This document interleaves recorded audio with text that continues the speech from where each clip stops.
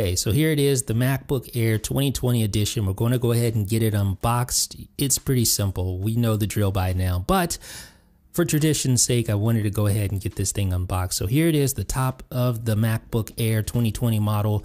This is a 13-inch MacBook Air. It features a 1.1 gigahertz dual-core CPU. Now this is not the quad core version. You should probably buy the quad core version if you're going to be doing any sort of intense operations like video editing, raw photo editing, etc. But as I mentioned at the very outset, I wanted to specifically try the $999 MacBook Air because it is the cheapest MacBook that Apple currently sells. So that to me is just an interesting talking point. I'm always going for the top of the line machine. I thought I would just switch it up this year and say, hey, let's go to the bottom of the barrel, grab the very entry level of the entry level MacBook Air. And that's what we've done. So you see the design by Apple in California packet inside. You get a little getting started guide.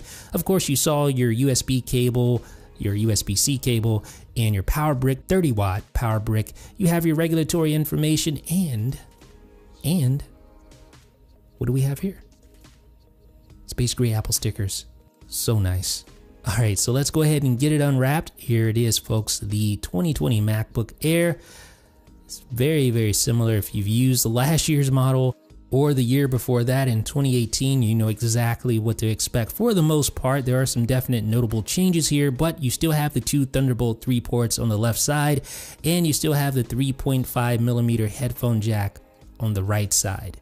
So as far as outside appearance, not much has changed at all. It is ever so slightly thicker and heavier, but that's almost indiscernible from last year's model. And you have the little inset here so you can lift up, I don't know what that's like, some smudges on the front lip area. I don't know what's up with that. I just took it out of the box, but whatever. All right, so here's the top of the MacBook Air. You can see the little color matched Apple logo. Nice and shiny. Let's go ahead and open it up. And the MacBook Air automatically turns on. Go ahead and remove the little protective paper. There we go. Now we're ready to get it all set up. So let's get started talking about the top features for the 2020 MacBook Air. First top feature is the 90, almost at 99 cent, $999 base price for the MacBook Air. So you go to Apple's website, you see there starting at 999. That's going to pull in quite a few people, at least pull some eyes to this MacBook Air. That is a, a very low price for an Apple laptop, just under a thousand dollars. Get you a dual core 1.1 gigahertz processor, 8 gigabytes of RAM, 256 gigabytes of flash storage. If you're on a budget, you need a basic Mac laptop for word processing, web browsing. This one is going to do a pretty good job. But by far the biggest new feature for this 2020 MacBook Air is the introduction of the scissor switch keyboard, replacing that old butterfly terrible keyboard. So the great thing about the scissor switch keyboard is that it has great key travel. That is the thing, and it's also way more reliable than the butterfly switch keyboard. And just like the previous MacBook Airs, you have Touch ID and hardware function keys, no touch bar. So great. And you also get the inverted T arrow keys, which makes it easier to touch without looking at your keyboard to know which arrow key you're pressing. Of course, all of this came with the 2016 MacBook Pro as well. But now this same keyboard has migrated down market to the MacBook Air and it's just such a pleasure to type on. The keys are spaced a little further apart. If you were frustrated by the previous MacBook Air keyboard, then this one is going to make you really happy. It truly is a night and day experience when comparing the two. I tried to, to type on my 13 inch MacBook Pro from 2019 and compared it to this and it was just no contest. I would take this keyboard 10 out of 10 times. One of the really cool features of the 2020 MacBook Air is that Apple doubled the entry level storage. So no longer does it start with just 128 gigabytes of flash storage. No, they actually dropped the price on the base model from 1099 to 999 and then doubled the storage from 128 to 256. I've always felt like 128 gigabytes of storage was way too little even for the most basic users, but having 256 gigabytes of storage is actually quite nice. So with my previous MacBook Airs, I always got used to carrying around this guy right here. This is a SanDisk Extreme Portable SSD. Great little portable drive. But now Apple has doubled the max amount of storage you can configure on your MacBook Air. So it used to be just one terabyte, now you can configure up to two terabytes, which is quite a lot of storage. Even if you're editing high quality video, with two terabytes, you could probably manage to do so without toting around a portable SSD. For the first time since the MacBook Air got its Retina display, you can now select between multiple CPU configurations. Previously, you only had one choice, now you have three choices a 1.1 gigahertz dual core, a 1.1 gigahertz quad core i5, and a 1.2 gigahertz quad core i7. These are all 10th generation Intel processors. They all support hyper-threading, but the entry-level CPU is just a dual core processor, whereas the mid-tier and the highest end CPU configs are quad core processors. So of course I have the dual core, you can see the single core score is actually decent, 987, but the multi-core, wow. That's going to hurt when you're editing video or trying to edit video in Final Cut Pro 10 or doing anything else that takes advantage of multi-core. With that being said, single core is actually pretty decent. Games are going to play fairly well for the most part. Although for more intense games, you may have some struggles with that integrated Intel Iris Plus GPU. But the great thing about having Thunderbolt 3 built in is that you can always connect an external GPU if you need the extra graphics power. But I was actually pretty surprised at how well this thing performed gaming wise.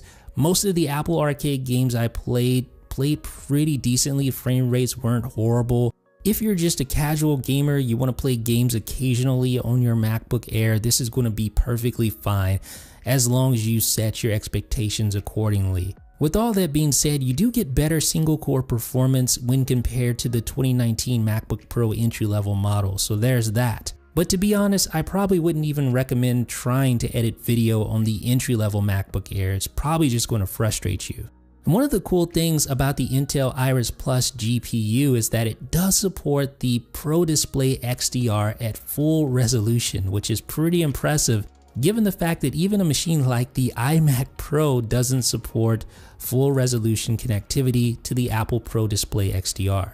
Now, with that said, temper your expectations. You try to play games. If it's any game not called solitaire, you're probably going to run into some heavy frame rate issues when running at full resolution on that Pro Display XDR.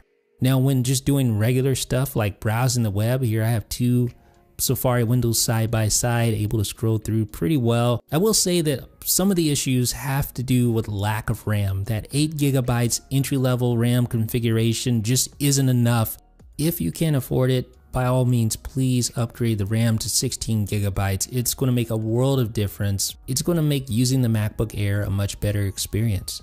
Now that being said, Apple is using faster, more power-friendly memory in the MacBook Air 2020 edition. They're using 3733 megahertz low-power DDR4X memory. So not only is the memory faster than the previous edition MacBook Air, and when you consider that memory can have a huge effect on battery life of a laptop, it makes sense that Apple will look for every advantage it can when it comes to memory and using the most power friendly memory that they can.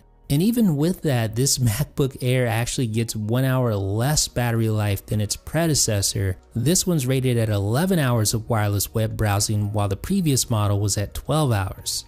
Believe it or not, all Apple devices, with the exception of the regular iMac and the 10.2 inch iPad, now feature Bluetooth 5.0. Yes, with the 2020 upgrade to the MacBook Air, Apple's cheapest laptop now gets Bluetooth 5.0 support. Now, this is kind of an unheralded bullet point on a list of tech specs, but Bluetooth 5.0 uses less power, has larger message capacity, features faster data transmission capability, and it increases range. The 2020 MacBook Air adds support for wide stereo sound and Dolby Atmos playback for supported content.